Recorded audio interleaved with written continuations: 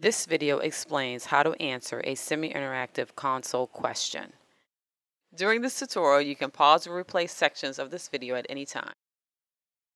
Each question represents a partially completed ultrasound examination. You will be required to assess the current system settings and evaluate the existing images. As a reminder, the images in the console question are frozen and will not change with your console adjustments. You will use the mouse to adjust the console settings to achieve the goal specified in the question. You can adjust as many or as few active controls as needed. The console is divided into four areas. Area 1 is the 2D static image. Area 2 is the static Doppler image. Area 3 is the problem statement.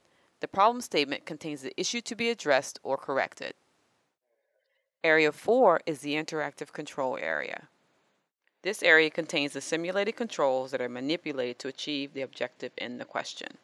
You respond to this problem by manipulating the active controls in this area. The interactive control area contains the primary controls.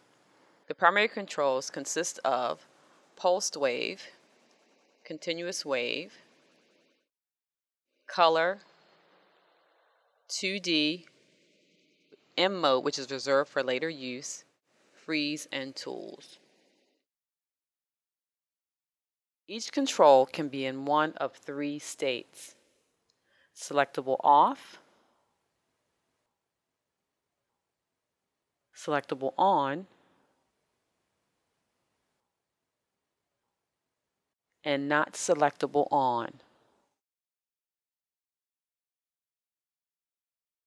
As you select a primary control, secondary controls are activated. The Select Control Values slider appears.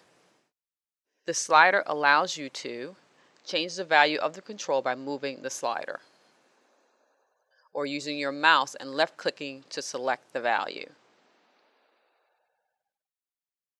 Use a scroll bar to see additional secondary controls. In the real exam, there is one primary and five secondary active controls.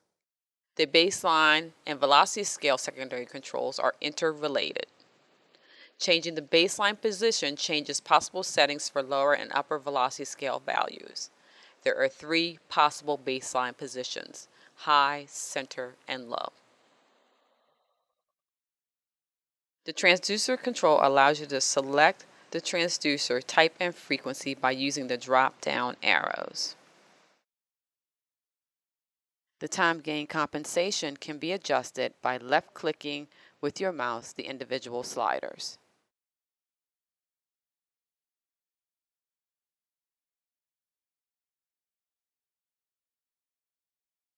The exam controls include a reset key that will allow you to return the question to its original state.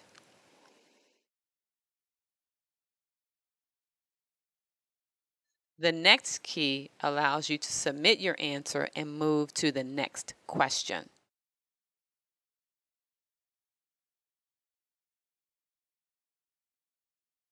As a reminder, the images in the console question are frozen and will not change with your console adjustments. You have watched the How to Answer a Semi-Interactive Console Question tutorial. For more information and a glossary of terms, go to www.ardms.org forward slash SIC.